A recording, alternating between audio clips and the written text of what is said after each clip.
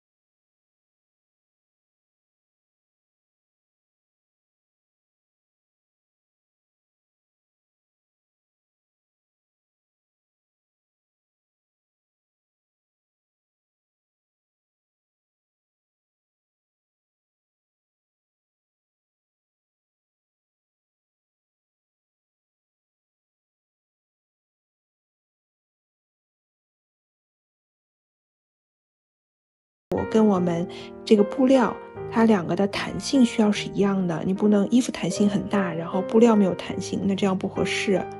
或者呢，我们就量尺寸，我们量出我们需要的领口、肩宽、腰围还有袖口的长度，然后在这个衣服上画出来。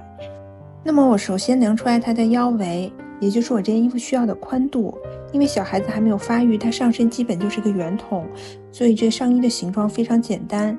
然后呢，我再画出来它的肩宽，还有它那个袖口下缘的深度，然后把这个肩膀外缘的点跟袖子下摆的点连起来，因为我有这种。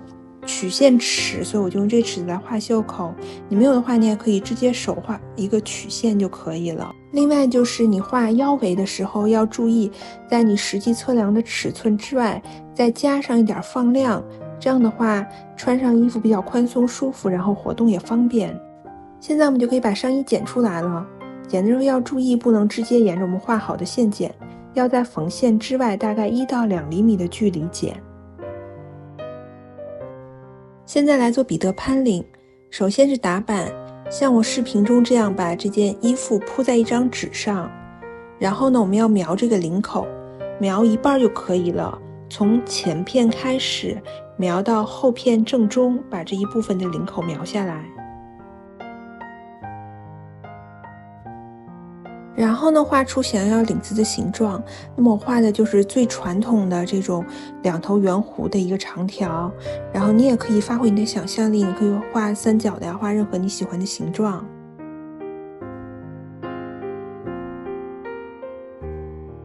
现在就可以把打好的板剪下来了。不过剪的时候要记得，同样要在画好的版型外面留一到两厘米的余量。我们要用这个板呢，才四块布。你可以就拿这件衬衣剩下的袖子来做领子，也可以另外拿一块你喜欢的布，发挥你的想象力，做你喜欢的设计。我用这个白色的布裁了四片领子，然后我要把它沿着我手指指的这个地方缝起来。另外一片领子也是一样，这就是缝好的样子。我们把它打开看一下。其实对于这种缝缝呢，有一种比较专业的处理方法，就是我们把后面缝线之外的部分推到一边，推到里子的部分，然后在离我们缝线非常近的地方，然后再缝一条线。这样缝完呢，这个你正面就会比较平整。然后你们知道我我是很懒的，所以我就准备直接用花边剪，把这缝线之外的部分剪得尽量靠近缝线。我这种做法是错的，是不好的，建议大家不要学，建议大家去用那种比较专业的方法。就是这毕竟是一个视频教程，虽然我比较懒，但是我自我自己可以这样做，但是我还是要告诉大家正确的好的做法应该是什么样的。不管用哪种做法，接下来都是把领子的正面翻出来，把这边角整理一下，然后把它熨平。熨的时候要注意，不要大范围的来回移动熨斗。在一个地方一点一点的小很小幅度的来回按压。另外，像我之前最开始没有熨斗的时候，我就拿字典那样的厚书把它压平也是可以的。现在我们把衣服的正面对在一起，把两边缝起来。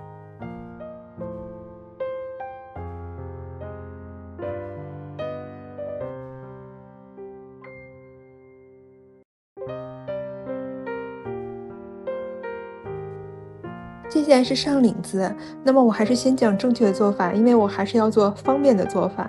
那么正确做法呢，应该是把领子缝到衣服的内侧，领子的反面跟衣服的反面对在一起，沿领口缝起来，然后再把领子这样子推出来。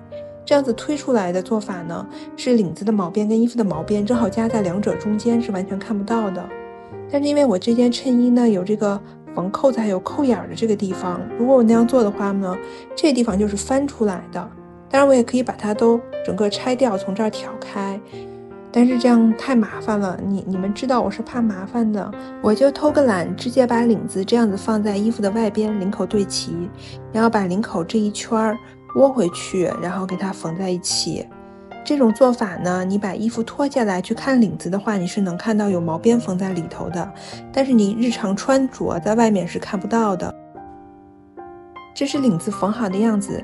接下来我们把扣眼还有扣子头上这一小节毛边窝回去缝起来。接下来处理袖口的毛边。处理袖口的毛边呢，我就用最简单的方法，我把这个毛边窝回去，然后把这一圈缝起来。但是呢，因为这种弧形的地方，我们要注意，它外面这个边会比你窝起来的那个边短。如果你这样直接窝回去缝起来的话，那么里面那个边会是扯着的，那么这个缝好的袖口它整个会皱。那么最简单的方法呢，我们只要在这个你窝回去的部分隔一段距离剪一些小口子，然后你再把它窝回去的时候，你看这个剪的口就延长了里面这个边，那么这样缝出来的袖口呢就是平整的。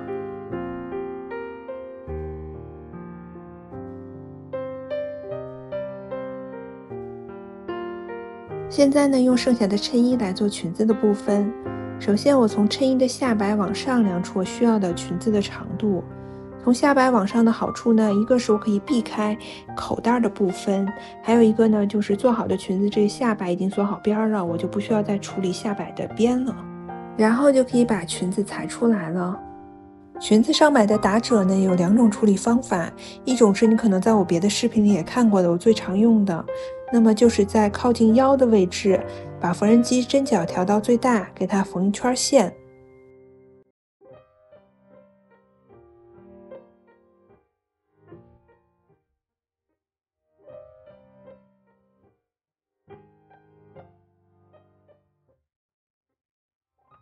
我们一个手拉住线头，一个手整理布料，这样的话布料就会自然的出现打褶的效果，这是一种方法。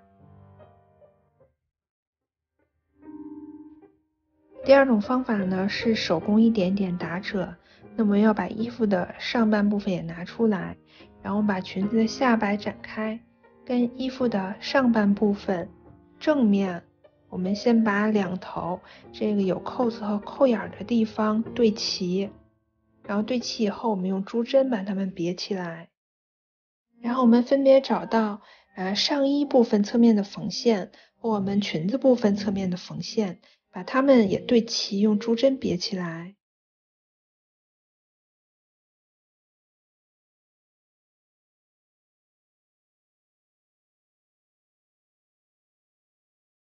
现在你看，我们别起来的部分，上衣的部分短，现在变长。没关系，我们找到它们各自二分之一的地方，然后再把这个二分之一的地方对齐别起来。